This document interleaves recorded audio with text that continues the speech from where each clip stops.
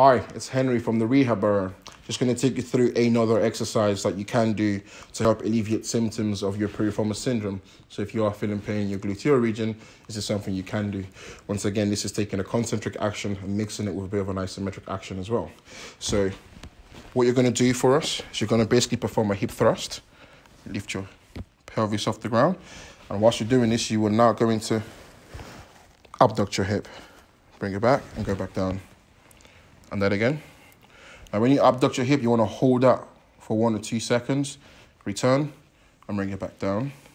And again, return, and bring it back down.